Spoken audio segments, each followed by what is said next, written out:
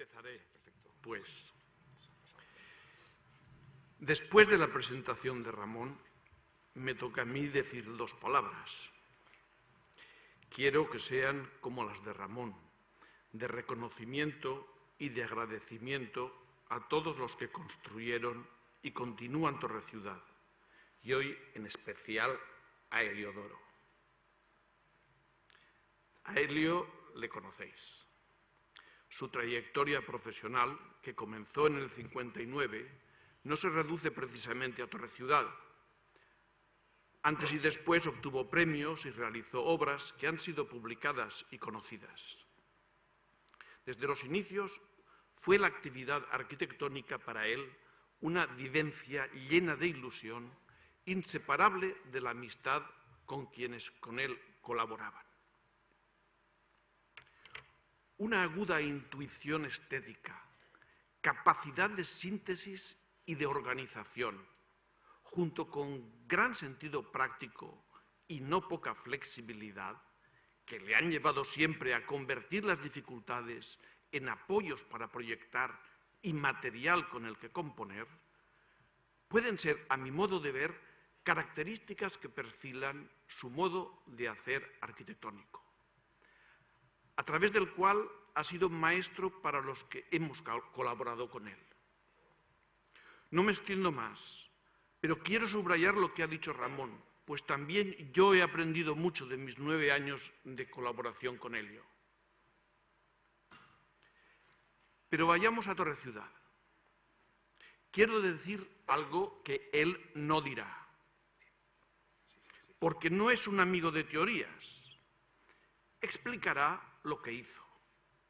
Y de los porqués solo encontraréis un sencillo no tuve más remedio. No será él quien abunde en adjetivos y valoraciones. Y hay mucho que valorar. En un primer paseo y observando atentamente, se capta una búsqueda de unidad. Sin motivo no se ven dos soluciones distintas al mismo problema. Y si las hay, señalan el motivo de la variación. Esa unidad, que hace la obra inteligible, ha sido siempre algo importante para Helio y para mí una valiosa enseñanza. Pero llama la, atención notar un lenguaje muy diferente en la iglesia y en el resto de los edificios. Es lógico, porque muy diferentes son el carácter y las necesidades. Los edificios que rodean la iglesia quieren ser un pueblo aragonés. Responden a la función anímica de que uno se pueda sentir en Aragón. La iglesia tiene un lenguaje diferente más libre por su singularidad de necesitar relacionarse con la comarca circundante, refleja los condicionantes de proyecto de modo más transparente. Pero, ¿qué clase de arquitectura es? ¿Cómo clasificarla? Se trata de una obra atractiva, pero desconectada de la trayectoria de la arquitectura actual algo original, excepción a considerar aparte, o aporta algo importante en el devenir de la arquitectura y de la cultura. No hablo de entelequias.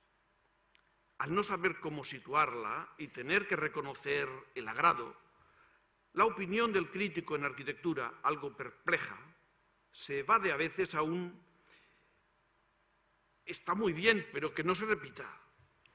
O no cumple ningún criterio, pero he de reconocer que queda bien. Y quizás, iglesia con imágenes figurativas, vuelta al pasado, no es arquitectura válida. O desde otro ángulo de vista. ¿Ves? Hay que hacer esto y no arquitectura moderna. Esto sí que es arquitectura y no esa que llaman moderna. Aunque la reacción más general, sin prejuicios de uno u otro tipo, afirma más bien que Torre Ciudad se entiende y transmite lo que tiene que transmitir. Ya notáis que he presentado alguna de estas reacciones en caricatura. O sea, que algo pretendo negar. Pero también reconocer algo de razonable que merece una breve explicación. Sabéis que la arquitectura moderna nace en las primeras décadas del siglo pasado no como un estilo nuevo, sino como un planteamiento radicalmente nuevo. Construir no es otra cosa que diseñar, es decir, analizar, ordenar y resolver correctamente las funciones que tendrá que desempeñar el objeto que se pretende crear. Es la arquitectura que llamamos moderna o funcional, que se ha consagrado definitivamente como algo diferente de un estilo más. Ha mostrado ser el necesario y más auténtico modo de enfocar en nuestra época la actividad creadora de objetos materiales relacionados con el habitar humano, sean sillas o rascacielos. Pero en aquel proceso de nacimiento del movimiento moderno en arquitectura, hacía más de un siglo que el mundo intelectual y artístico se había alejado de manera considerable de la fe. Y las necesidades de orden espiritual y sobrenatural, una dimensión esencial al hombre, quedaron en general excluidas, ausentes en los planteamientos y en las soluciones más emblemáticas. La Carta de Atenas resume en cinco las necesidades básicas del hombre, y ya las podéis imaginar, ninguna tiene que ver con el espíritu. El arte sacro continuó paralelamente con los planteamientos tradicionales, ignorando la arquitectura moderna, porque la arquitectura moderna ignoraba las necesidades, funciones religiosas del hombre. Y los acercamientos han tenido lugar en superficie, en el estilo, más que en una comprensión mutua y piadoso y moderno parecen aún en el sentir general polos opuestos, alternativas entre las que elegir quizás dolorosamente. En el modernismo aún encontramos magníficos ejemplos. Baste mencionar a Gaudí o a Otto Wagner, y en la arquitectura moderna no faltan logros dispersos de indudable interés con frecuencia obras ricas en efectos plásticos y en soluciones técnicas, pero pobres en contenido espiritual, porque el arquitecto y quizás los promotores han estado un tanto aislados. Y ello en buena parte porque no se ha llegado a crear una cultura y escuela de arte sacro que no contemple este movimiento moderno desde fuera falta una cultura del arte sagrado creada por arquitectos con mentalidad de arquitectos. Factores de ese progreso de la, cultura arquitectónica en lo más radical de sus planteamientos y capaces de afirmar en ella la identidad de la actividad religiosa del hombre entendida a fondo, como sólo la captan los ojos de la fe y de la piedad personal. Personalmente he llegado a la conclusión de que esa vida de fe y de piedad no es sin duda suficiente, pero sí absolutamente necesaria para realizar buen arte sacro. ¿Por qué? Porque nadie da lo que no tiene. Y aquello que ha de transmitir una buena obra de arte sacro está en la obra si estaba en el artista y no está automáticamente en el artista porque haya anotado una lista de deseos de otro. O son vida suya y lo comprende con los ojos del alma, o no lo entiende, aunque sea un genio en otro género de edificios. Y cuando esto ocurre, si se trata de un arquitecto con buenas capacidades, aparecen volúmenes interesantes, juegos sorprendentes de luz, materiales que dialogan bellamente entre sí y con los volúmenes, geometrías atrevidas, bellas como pueda serlo un puente o un auditorio, incluso símbolos acertados. Todo ello entusiasmante para quien no busca otra cosa en un templo, pero que deja frío y sin ayuda a quien está buscando acercarse a Dios y no encuentra la música de la fe personal que invita a la fe personal, el amor que lleva al amor, la música de la esperanza que infunde esperanza sobrenatural. Sin comunicación no hay arte. Y sin comunicación de lo sagrado no hay arte sagrado.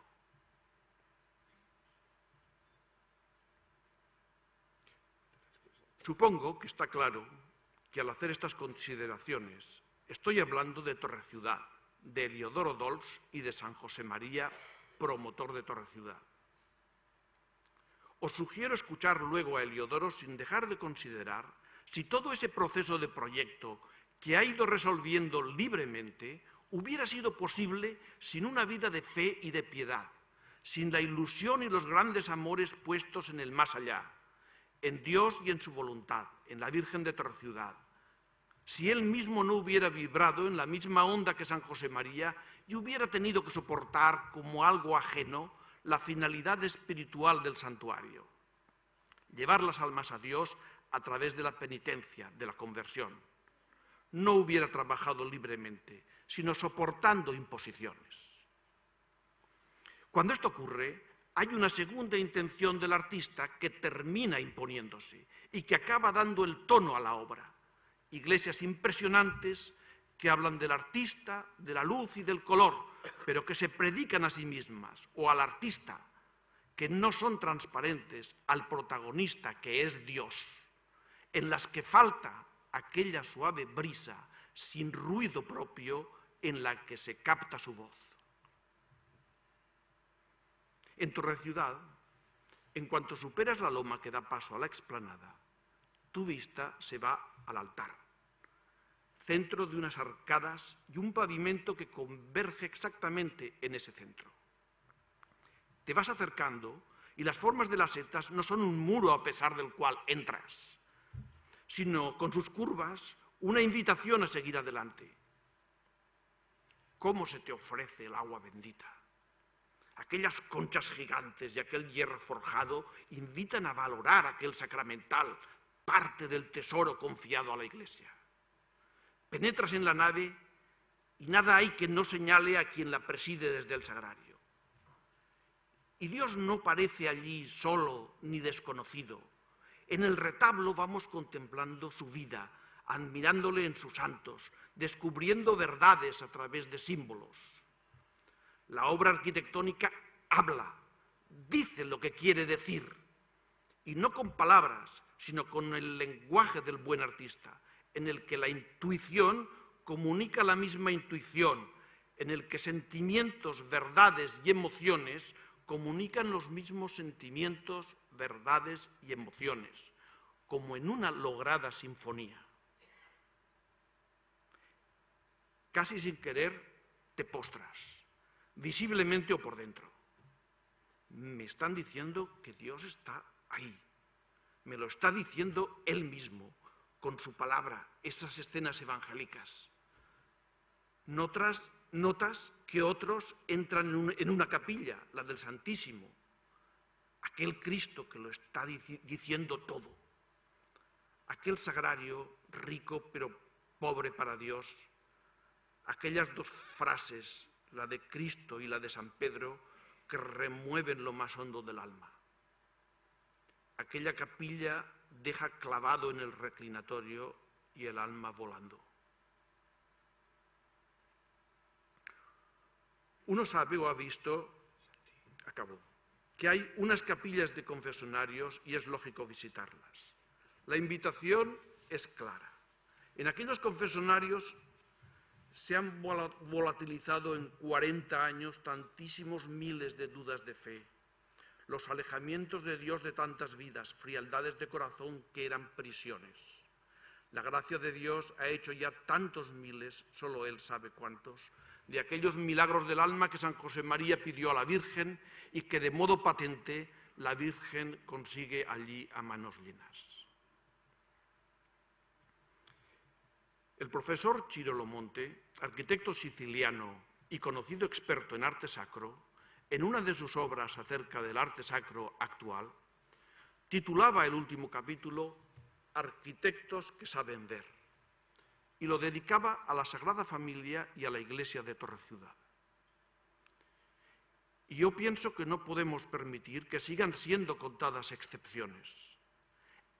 Es necesario repensar desde la fe y dentro de la cultura en que vivimos los caminos de una nueva primavera de la arquitectura sacra que no reniega de su modernidad, sino que por el contrario quiere ser verdaderamente funcional, asumiendo, entendiendo, valorando y resolviendo plenamente las funciones sobrenaturales, las más nobles, son los retos de la fe. Porque Torre Ciudad es un hito en este renacer. Gracias, Elio.